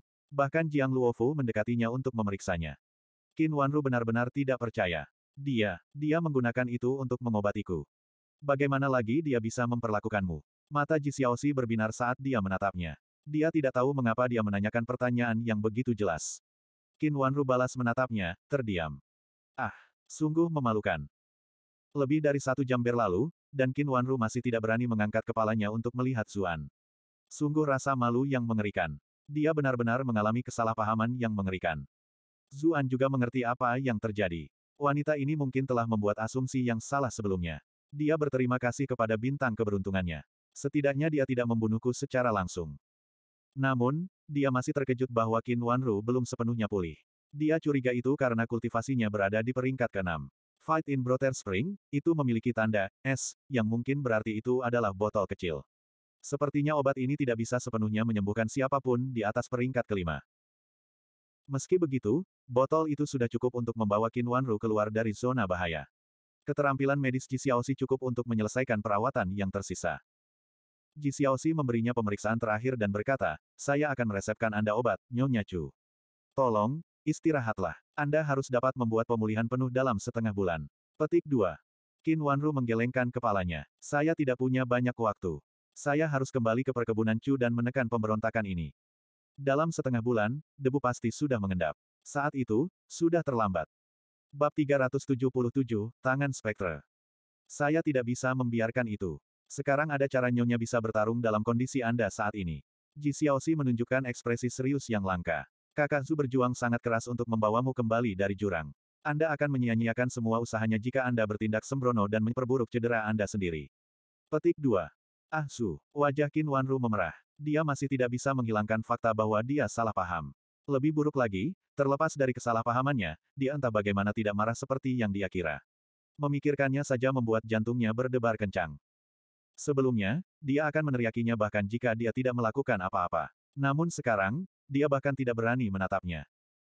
Pada saat ini, Ji Dengtu akhirnya kembali, sosoknya bergoyang ke kiri dan ke kanan. Dia memegang seikat herbal di tangannya. Dia tampak benar-benar menyedihkan, dan dia terus-menerus bergumam. Haruskah saya menambahkan ramuan ini atau yang lain? Tapi sekali lagi, saya tidak memiliki kepercayaan pada salah satu dari ini bekerja. Petik 2. Dia tiba-tiba menyadari bahwa Qin Wanru sedang duduk di tempat tidurnya. Kulitnya kemerahan, dan dia tidak terlihat seperti penampilannya ketika dia pertama kali pergi. Dia menatapnya dengan bodoh. Kamu, kenapa kamu? Sebelum Qin Wanru bisa menjawab, Ji Xiaoxi melambaikan botol di tangannya. Dia mengangkatnya seolah-olah sedang mempersembahkan harta karun, menghujani Zuan dengan pujian. Ayah, kakak laki-laki Zu menyelamatkannya. Nyawa nyonya baru saja digantung, tetapi kakak laki-laki Zu membawa kembali obat ajaib ini. Dia menarik nyonya keluar dari kondisi kritisnya. Ji Dengtu terdiam untuk waktu yang lama. Dia bergegas untuk memeriksa denyut nadi Qin Wanru, dan kemudian ekspresi tidak percaya muncul di wajahnya. Dia benar-benar keluar dari bahaya. Meskipun Qin Wanru masih terluka parah, dalam keadaannya saat ini, bahkan Xiaoxi dapat merawatnya hingga pulih sepenuhnya. Dia berbalik untuk melihat Zuan. Berat, dari mana kamu mendapatkan barang-barang ini? Zuan berkedip. Aku menemukannya di ruang bawah tanah rahasia. Dia tidak tahu bagaimana lagi menjelaskan, fight in Brother Spring. Ini adalah alasan yang paling masuk akal. Sesuatu yang ajaib ini ditemukan di ruang bawah tanah. Itu hampir membuatku ingin masuk dan melihat-lihat diriku sendiri. Ji Dengtu terdengar sangat iri. Jiang Luofu angkat bicara. Kamu tidak bisa memasuki ruang bawah tanah rahasia kami. Anda bukan anggota akademi. Petik 2. Ji Dengtu mendengus. Siapa yang mau masuk ke penjara bawah tanahmu yang bau? Aku akan mencari yang lain saja. Dengan gusar, Keduanya menoleh ke arah yang berlawanan. Zuan memiliki ekspresi aneh di wajahnya. Dia ingat Ji Xiaoxi menyebutkan bahwa ada beberapa gesekan antara Jiang Luofu dan Ji Dengtu, dan itu semua berasal dari kakak perempuannya. Jelas, ini tampaknya menjadi kasusnya. Qin Wanru berbicara dalam keheningan. Saya tidak bisa tinggal di sini. Saya tidak bisa membiarkan klan Chu diambil alih oleh. Bahkan jika saya tidak dapat menggunakan kultivasi saya, saya setidaknya dapat mengungkapkan kebenaran kepada semua orang. Ah Su, bawa aku kembali segera. Sikapnya yang tegas jelas tidak menimbulkan pertengkaran. Zuan berkata dengan serius, bahkan jika ada kebutuhan untuk kembali, kami tidak begitu terdesak waktu. Biarkan tabib surgawi Ji dan Xiaoxi menstabilkan Anda terlebih dahulu. Kita bisa kembali setelah itu. Qin Wanru mengangguk. Baiklah. Saat persetujuannya keluar dari mulutnya, dia tertegun. Bukankah seharusnya dia yang mendengarkannya? Kapan mereka bertukar peran? Bersama-sama, Ji Dengtu dan Ji Xiaoxi memeriksanya lagi. Mereka merawatnya lebih lanjut dengan campuran herbal dan akupuntur. Ji Dengtu bahkan memasukkan beberapa ki ke dalam dirinya untuk membantunya pulih. Zuan menyeret Jiang Luofu ke halaman. Kepala sekolah yang cantik, bisakah saya meminta bantuan Anda? Enggak, Jiang Luofu menggelengkan kepalanya segera. Zuan tercengang. Tapi aku bahkan belum mengatakan apa-apa. Jiang Luofu berjalan ke gerbang dan melihat ke kejauhan. Kakinya yang panjang, dipasangkan dengan sepatu hak tingginya, memberikan sosoknya keanggunan yang luar biasa. Saya tahu bahwa Anda ingin saya membantu Anda menekan pemberontakan di klan Chu.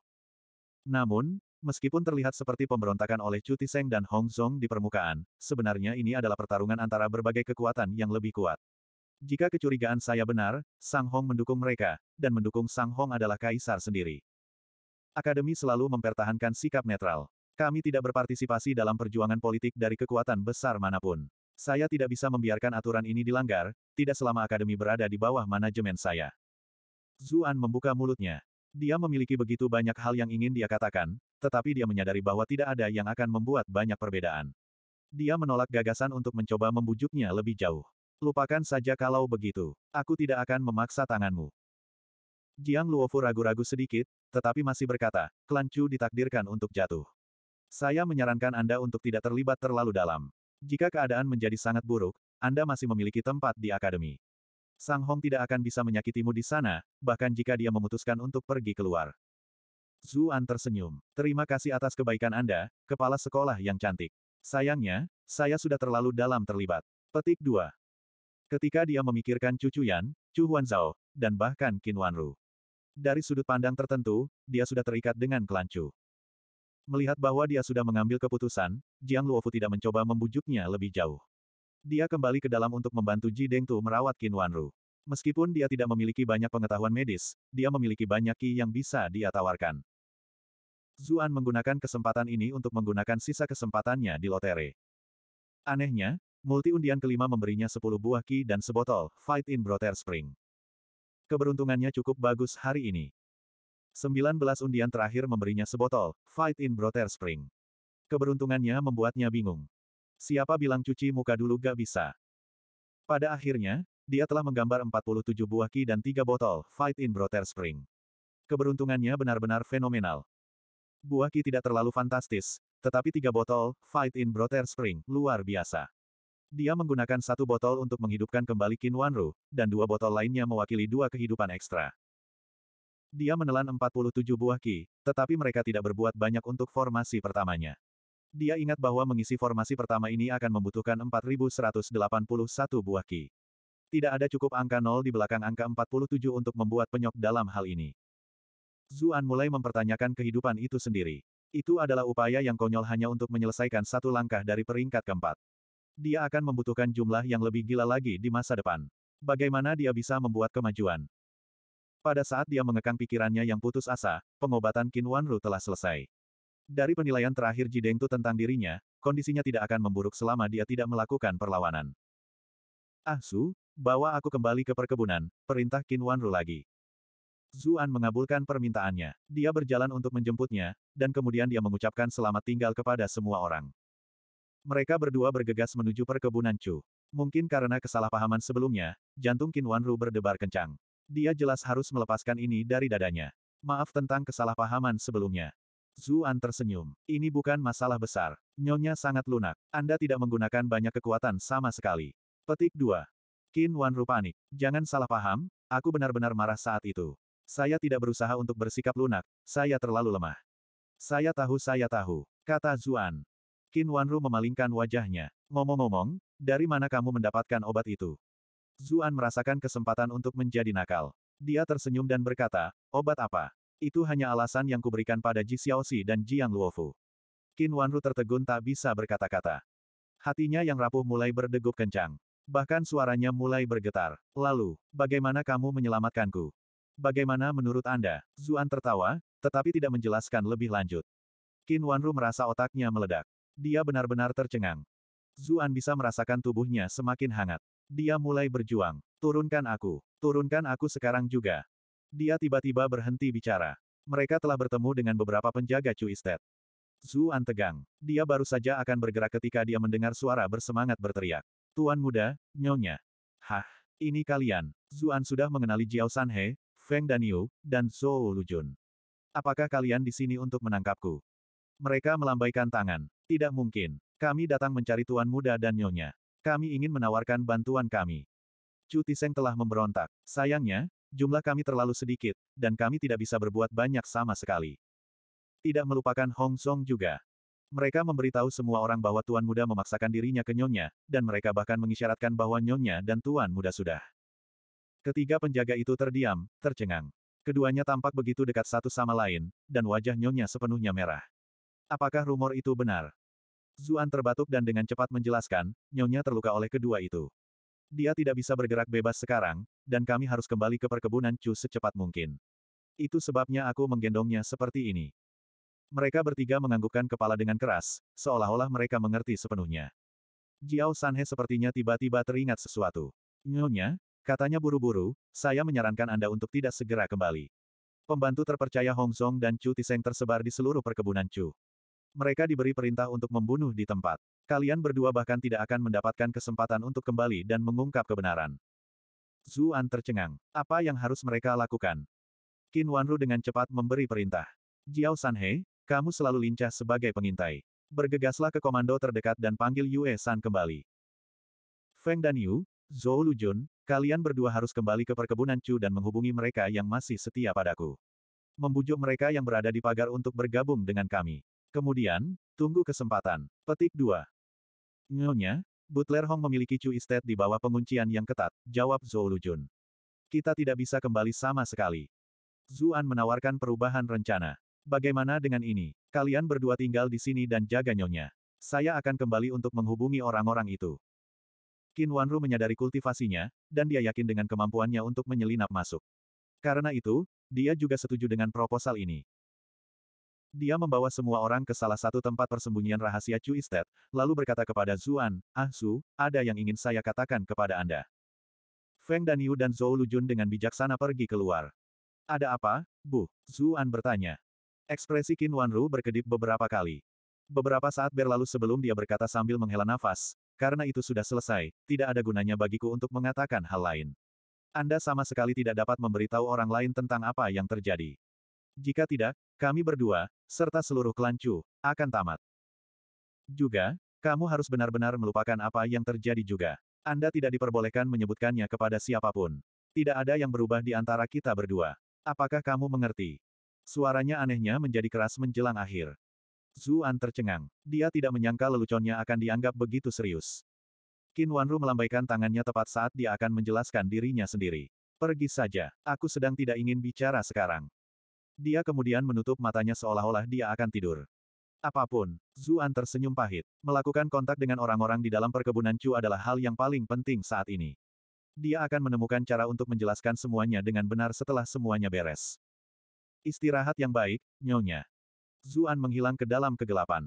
Pertahanan di sekitar perkebunan Chu memang ketat, tapi Grenggale memberinya gerakan instan. Bersama dengan Mirror Meraj, menyelinap di sekitar bukanlah masalah sama sekali. Dia memutuskan untuk mengunjungi Chu Huan Zhao terlebih dahulu. Gadis kecil itu mungkin ketakutan. Saat itu, sebuah beban mendarat di bahunya, membuatnya tidak seimbang. Itu adalah tangan yang membebaninya. Dia benar-benar ngeri. Bab 378, satu jari untuk menyegel alam semesta. Zuan menyerang secara naluriah, tetapi kekuatan aneh ditransmisikan melalui bahunya, dan sebagian besar tubuhnya langsung mati rasa. Dia tidak bisa mengumpulkan kekuatan apa pun. Dia ngeri. Orang ini telah berhasil menyelinap di belakangnya diam-diam dan segera menahannya. Tingkat kultivasi ini jauh di atas miliknya. Kamu akhirnya kembali, Ah Su. Suara suram Mitua datang dari belakangnya. Zuan menghela nafas lega. Jadi itu kamu, Penatua. Anda membuat saya takut. Petik 2. Old Mi melepaskan bahunya. Dia batuk dua kali sebelum bertanya, mengapa hanya kamu? Di mana Nyonya Chu? Bagaimana lukanya? Zuan segera menjilatnya. Senior benar-benar seorang peramal yang tahu segalanya. Anda bahkan tahu bahwa Nyonya Chu terluka parah. Petik 2. Mi tua mendengus. Saya ada di sana. Bagaimana lagi kalian berdua bisa lolos? Zuan teringat pohon besar yang tumbang untuk menutupi pelarian mereka. Terima kasih, Penatua, katanya penuh terima kasih. Kau masih belum menjawab pertanyaanku. Mata Old Mi berkilauan. Dia jelas sedang memikirkan sesuatu. Zuan enggan menjawab. Namun, setelah beberapa pemikiran, dia berpikir bahwa Old Mi mungkin juga tidak ingin sesuatu terjadi pada Qin Wanru, terutama karena dia telah menyelamatkan mereka berdua. Karena itu, dia menjawab, itu menakutkan, tetapi tidak ada bahaya nyata. Nyawa Madam Chu tidak terancam, tetapi dia masih belum pulih sepenuhnya. Itu sebabnya kami tidak kembali bersama. Mi Tua mengangguk. Tidak buruk, tidak buruk. Sepertinya Ji Deng Tu memiliki beberapa keterampilan. Petik 2. Zuan tersenyum tetapi tidak menjelaskan. Dia tidak ingin mengungkapkan terlalu banyak kepada Old Mi. Apa yang kalian semua rencanakan sekarang? Tanya Mi Tua. Kami berencana untuk menghubungi mereka yang masih setia kepada Qin Wanru di dalam perkebunan Chu, dan memanggil kembali Yue San. Zuan memberikan garis besar rencana Qin Wanru. Itu akan memakan waktu terlalu lama. Mitua menggelengkan kepalanya. Yue San terlalu jauh. Ini akan memakan waktu terlalu lama baginya untuk kembali. Dia selalu agak tegang juga. Saya ragu dia akan bisa mengalahkan Hong Song. Petik 2. Zuan merasa aneh bahwa orang tua ini mendiskusikan hal-hal ini dengannya. Lalu apa yang Anda sarankan, Penatua? Old Mi sepertinya enggan untuk membagikan pemikirannya, tetapi pada akhirnya, dia berkata, tidak perlu repot seperti itu. Saya akan membantu Anda menangani Hong Song dan Chu Tiseng. Jika Anda ingin mengalahkan pasukan, kalahkan pemimpin mereka. Jika kita menyingkirkan mereka berdua, segala sesuatu yang lain dapat diselesaikan dengan mudah. Petik 2. Zuan terkejut dan sangat gembira. Jika Penatua bersedia membantu kami, itu bahkan lebih baik. Dia tidak berani menyarankan tindakan ini karena Old Mi selalu tidak menonjolkan diri. Dia tidak pernah melibatkan dirinya secara terbuka. Zuan tidak menyangka dia yang menyarankan ini. Dia mengatakan banyak hal kepada Mitua. Mitua tertawa kecil. Itu sebelumnya. Tapi segera, saya tidak perlu khawatir tentang itu lagi. Tentu saja, kamu tidak boleh mengekspos keberadaanku kepada siapa pun. Anggap saja Anda melakukan semua ini sendiri. Petik 2.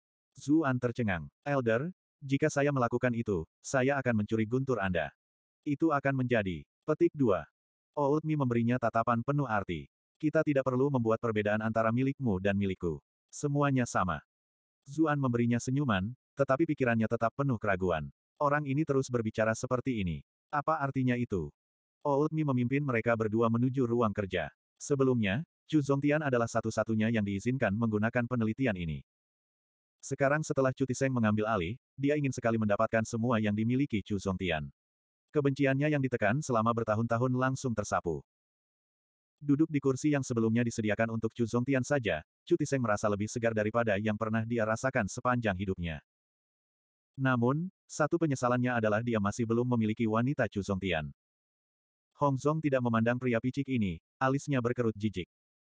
Seolah merasakan penghinaannya, Chu Tiseng memaksa dirinya untuk fokus pada hal-hal yang lebih penting. Dia menegakkan tubuh dan berkata, berdasarkan apa yang kita ketahui, Zuan dan Qin Wanru kemungkinan besar bersembunyi di kediaman klan Ji. Namun, tidak ada cara bagi kita untuk menangkap mereka sementara mereka tetap di bawah perlindungan Jiang Luofu. Apa yang kita lakukan? Hong Zong duduk dan mengambil cangkir teh. Jangan khawatir, Qin Wanru terkena, Bull Scream, dan bahkan mendapat pukulan dari tinju penghancur hatiku. Dia sudah tidak bisa diselamatkan. Jika tabib surgawi Ji ada, keterampilannya mungkin sudah cukup untuk membuatku meragukan kematiannya, tapi kami sudah memastikan bahwa dia tidak ada di sana. Bagaimana mungkin anak itu Ji Xiaoxi menyelamatkannya sendirian? Chu Tiseng kesal. Ketika Chu Zongtian duduk di kursi yang sama ini, Hong Zong selalu berdiri dengan hormat di satu sisi, menerima perintah secara diam-diam. Mengapa kepala pelayan ini tidak memperlakukannya sebagai master klan baru sama sekali? Bagaimana jika Zuan mulai menyebarkan berita tentang apa yang terjadi hari ini dan menimbulkan kecurigaan? Chu Tiseng menghela nafas dengan kasihan. Sungguh sangat sia-sia bagi Qin Wanru untuk mati begitu saja. Itu semua karenanya terhadapnya telah mengacaukan pikirannya, dan dia berhasil melarikan diri. Hong Zong mengendus dengan acuh. Itu tidak menjadi perhatian. Kami sudah mulai menyebarkan desas-desus fitnah tentang dia, jadi bahkan jika dia mencoba mengatakan sesuatu yang menentang kita, semua orang hanya akan percaya bahwa dia mencoba untuk membalas dendam. Selain itu, bahkan jika seseorang memendam kecurigaan, hanya itu yang akan mereka miliki. Tidak mungkin mereka bisa mendapatkan bukti konkret. Jika Anda mempertahankan posisi Anda sebagai master klan, dan dengan dukungan saya, semua orang akan memilih untuk mempercayai Anda. Asteris pa, pa, pa, asteris. Tepuk tangan pelan datang dari luar sebelum Cuti Seng sempat menjawab. Dia melihat Zuan berjalan mendekat, memberi mereka tepuk tangan. Rencana yang bagus. Ternyata kepala pelayan kita, Hong, yang dipuji semua orang karena bersikap jujur dan terhormat, mampu melakukan rencana jahat seperti itu. Zuan. Mereka berdua terkejut saat melihat dia masuk. Mereka langsung berdiri. Bagaimana Anda bisa masuk ke dalam sini? Cuti Seng melihat keluar. Orang-orang yang menjaga ruang belajar semuanya adalah ajudan terpercaya. Bagaimana anak ini bisa menyelinap ke sini? Hong Zong mengutuk anak buahnya karena bodoh. Jika Zuan ada di dalam, itu berarti penjaga di luar sudah ditangani. Kemudian lagi, meskipun dia telah menyaksikan keterampilan Zuan belum lama ini, dia hanya mendapat kesan bahwa anak itu cepat. Itu saja tidak akan cukup untuk menangani semua penjaga di luar tanpa membuat suara. Saya masuk, jelas. Saya tuan muda dari klan Chu. Apa aku perlu izinmu untuk pulang? Zuan berkata dengan tenang. Tuan muda, hah? Seekor burung pipit menerbangkan satu cabang, dan dia tiba-tiba mengira dia burung phoenix. Anda bukan apa-apa tanpa cucuyan. Siapa yang benar-benar menganggapmu sebagai tuan muda klan Chu? Chu Tiseng mencibir. Hong Zong mengerutkan kening dan berkata, berhentilah membuang-buang waktu. Tangkap dia dulu. Napas Chu Tiseng tertahan. Beraninya kau menyuruhku berkeliling. Siapa master klan di sini? Namun, Hong Zong tampaknya tidak punya niat untuk melangkah maju. Pada akhirnya, dia tidak punya pilihan selain menggertakkan giginya dan melakukan apa yang dikatakan pria itu. Sial, kenapa kultivasinya harus lebih tinggi dariku? Zuan tidak bergerak sama sekali saat Chu Tiseng menyerangnya. Dia hanya menatapnya dengan sinis. Melihat Zuan berdiri di sana dengan tenang dengan seringai anehnya, Chu Tiseng merasakan bulu-bulu di belakang lehernya mulai terangkat. Namun, ia memiliki enam tingkat kultivasi, dan Hong Zong juga dekat untuk membantu. Berapa banyak yang bisa dilakukan anak ini? Tepat saat telapak tangannya hendak menyerang Zuan, sebuah jari tiba-tiba muncul di belakangnya. Jari itu sudah tua dan keriput, mencari seluruh dunia seperti cabang pohon yang busuk. Sepertinya itu akan patah dari satu sentuhan. Menarik kembali, Hong Zong berteriak ketakutan. Chu Tiseng merasa bulu-bulu halusnya berdiri. Sayangnya, tidak ada waktu baginya untuk bereaksi. Jari itu sudah mengenainya tepat di antara alisnya. Seluruh tubuhnya menjadi kaku. Wajahnya masih mempertahankan ekspresi sebelumnya, tetapi matanya benar-benar kosong. Tubuhnya jatuh dengan keras ke tanah. Hong Zong hendak bergegas dan membantunya, tetapi dia langsung membeku ketika dia melihat bahwa Chu Tiseng telah terbunuh seketika. Kultivasinya lebih tinggi dari Chu Tiseng, tapi itu tidak cukup tinggi sehingga dia bisa langsung membunuhnya. Kultivasi orang tua ini jelas jauh lebih tinggi daripada miliknya. Tidak hanya itu, dia juga tidak mengerti bagaimana satu jari itu bisa menjatuhkan Cuti Seng. Tampaknya keterampilan yang sangat mendalam. Jika dia berada di tempat Cuti Seng, dia mungkin juga tidak akan bisa mengelak. Tua, Mi Tua, Hong Zong sudah mengenali siapa penyerangnya. Sebagai kepala pelayan, dia secara alami akrab dengan semua orang di perkebunan, tidak peduli posisi mereka. Orang tua ini, yang selalu tampak seperti akan diterbangkan oleh embusan angin. Bukankah dia hanya tukang kebun? Bab 379, Debu Mengendap. Mi tua tersenyum. Namun, wajahnya sangat berkerut, seperti kulit jeruk yang kering, dan senyum ini hanya membuatnya terlihat sangat menakutkan. Ingatan Butler Hong cukup bagus. Anda bahkan mengingat orang yang tidak penting seperti saya. Petik 2. Zuan menatap Cuti Seng, terbaring mati di lantai, dan menelan ludah. Dia telah menyaksikan kultivasi Cuti Seng sebelumnya, dan tahu bahwa dia sendiri bukanlah tandingannya. Namun seorang ahli peringkat enam seperti dia telah terbunuh oleh satu tusukan jari. Jika dia pernah mendapatkan sisi buruk Mitua, apakah dia akan mati hanya dengan sekali pandang? Seluruh tubuh Hong Zong menjadi tegang saat dia menatap sesepuh di depannya. Sepertinya bahkan Bright Moon Duke telah mengabaikanmu. Memikirkan bahwa ahli mengerikan seperti itu disembunyikan di perkebunan. Petik 2. Di tengah kalimatnya, dia bergerak. Dia jelas-jelas mencoba mengalihkan perhatian Mitua dengan berbicara padanya, lalu meluncurkan serangan mendadak saat orang tua itu tidak menduganya. Lagi pula, pria yang lebih tua seperti Hong Zong pasti akan lebih licik daripada yang lain. Hati-hati, Zuan berteriak panik, tapi Old Mi berdiri tegak tanpa bergerak.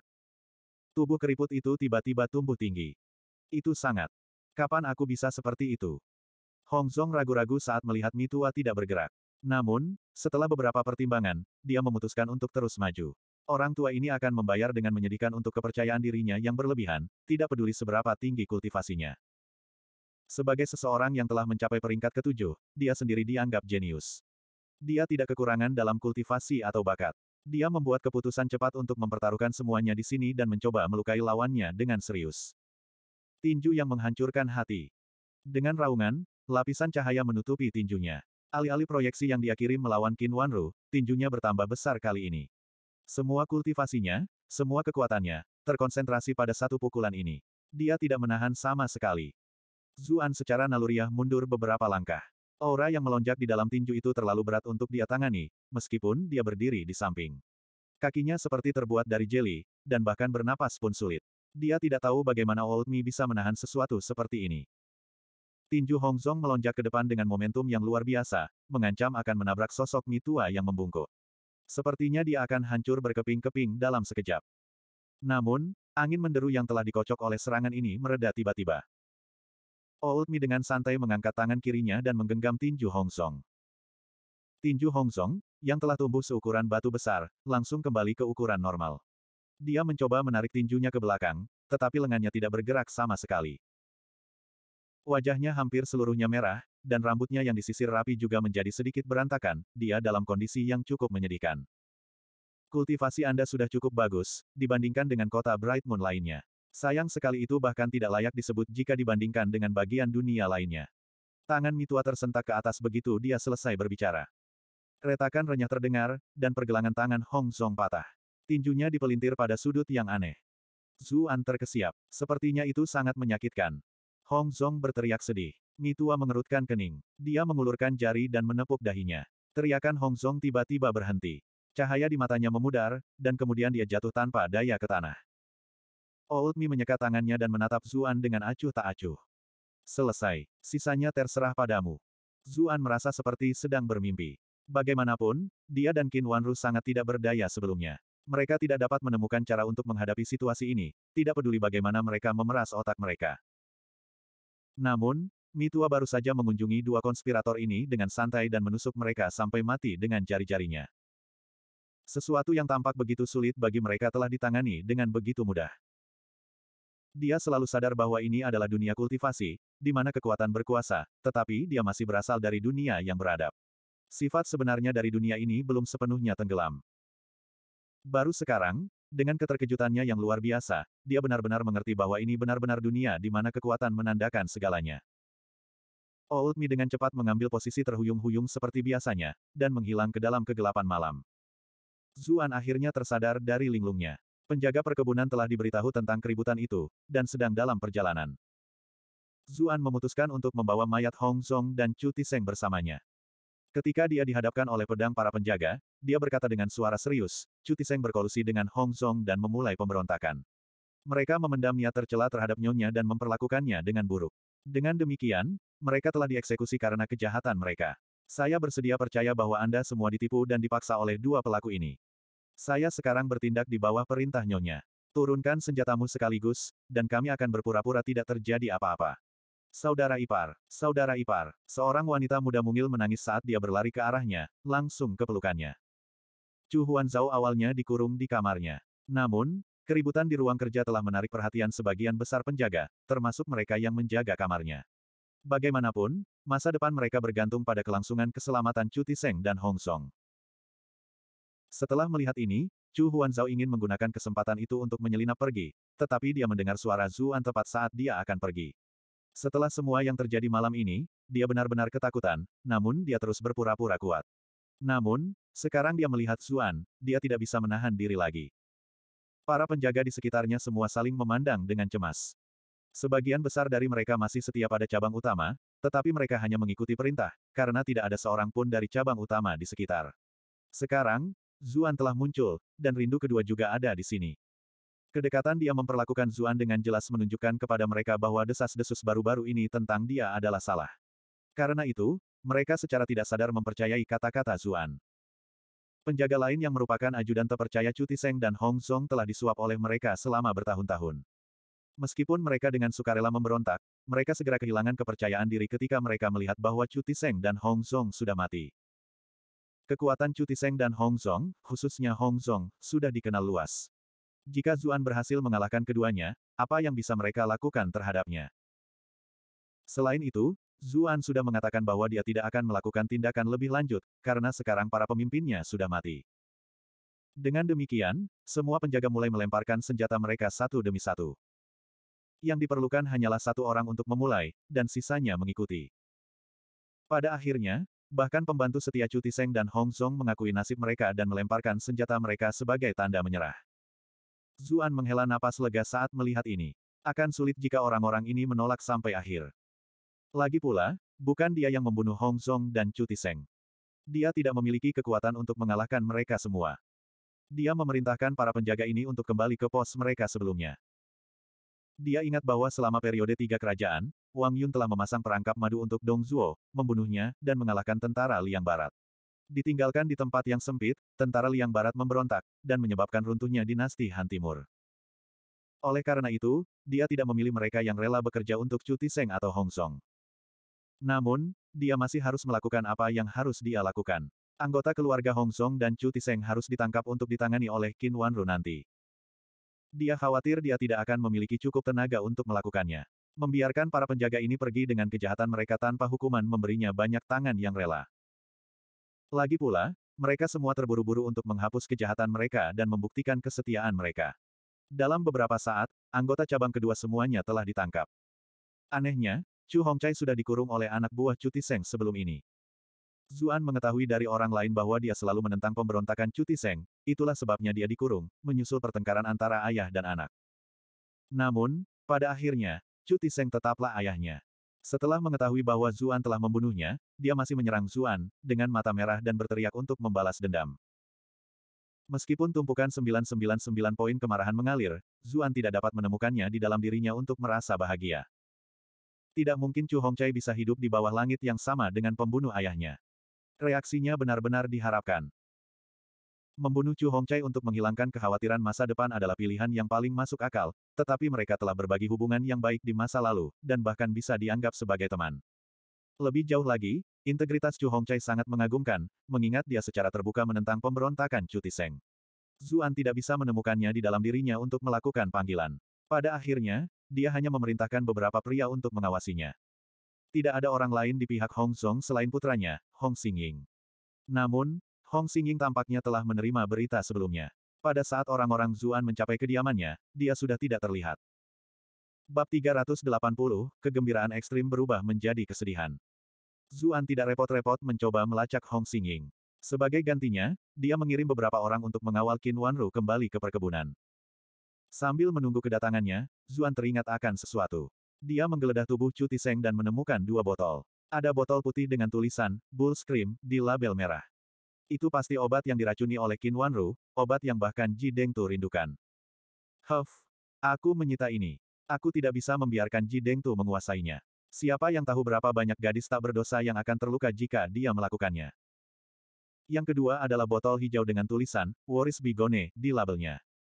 Khawatir Bigone, Zuan tercengang. Apa ini? Nama itu tampaknya agak puitis, tetapi saya tidak tahu efek seperti apa yang dimilikinya. Saya harus menemukan kesempatan untuk menguji ini nanti. Penampilan Garang Jideng Tu muncul di kepalanya. Jika Jideng Tu tahu betapa dia telah menyiksa putrinya yang berharga, dia akan menjadi orang mati. Dia menggigil dan dengan cepat menyingkirkan pikiran ini. Dia memasukkannya ke dalam Brilliant Glass Bed untuk penelitian selanjutnya. Sementara itu, di rumah persembunyian, reaksi pertama Qin Wanru saat melihat penjaga perkebunan Chu adalah bersembunyi. Lagi pula, dia masih khawatir tentang Zuan, karena dia sudah pergi begitu lama. Utusan itu berjanji kesetiaannya berulang kali. Dia juga ingat bahwa pria ini selalu dapat dipercaya, itulah sebabnya dia dengan skeptis kembali ke perkebunan Chu pada akhirnya. Ketika orang-orang di perkebunan Chu melihat Qin Wanru, batu terakhir terangkat dari bahu mereka. Bagaimanapun, kata-kata Zuan hanyalah satu sisi dari cerita. Meskipun dia adalah tuan muda dari klan Chu, orang-orang yang benar-benar bertanggung jawab adalah tuan, nyonya, dan nona pertama. Qin Wanru segera bekerja memilah berbagai hal. Ketika akhirnya dia punya waktu luang, dia menarik Zuan ke samping dan menatapnya dengan bingung. Bagaimana kamu melakukannya? Melakukan apa? Zuan berkata sambil tersenyum. Saya jelas sedang berbicara tentang Hong Song dan Chu Tiseng. Qin Wanru benar-benar bingung. Satu berada di peringkat ketujuh, dan yang lainnya di peringkat keenam. Anda seharusnya tidak bisa mengalahkan mereka. Tidak hanya itu, mereka juga dikelilingi oleh penjaga. Bagaimana kamu membunuh mereka? Sebenarnya, aku ahli yang kuat, Zuan menyatakan dengan bangga. Persetan Qin Wanru akan percaya itu. Dia pernah melihat Zuan berkelahi sebelumnya. Meskipun kultivasinya memang cukup bagus, itu jauh dari level yang dibutuhkan. Namun, dengan mayat Hong Zong dan Chu Tiseng di depannya, dia tidak punya pilihan selain mempercayainya. Dia ingat lagi bagaimana Cucu Yan telah menekankan padanya untuk mempercayai Zuan, dan dia menghela nafas dalam hati. Jelas, wawasan Cuyan jauh melampaui dirinya sendiri. Sesuatu yang lain segera muncul di benaknya, dan ekspresinya menjadi sangat aneh. Bagaimana dia harus menghadapi putrinya sekarang? Saat itu, Chu Yuepo berlari sambil tersenyum, sikapnya sangat memprihatinkan. Aku sangat senang kamu baik-baik saja, kakak ipar. Aku sangat mengkhawatirkanmu. Qin Wanru mengumpulkan pikirannya yang berantakan. Huff, Anda pasti sangat kecewa melihat saya kembali. Saya tidak ingat Anda melakukan apa pun selama kekacauan. Petik 2. Cabang ketiga tidak melakukan apa-apa selama pemberontakan Chu Tiseng. Mereka hanya berpura-pura tidak melihat ada yang salah.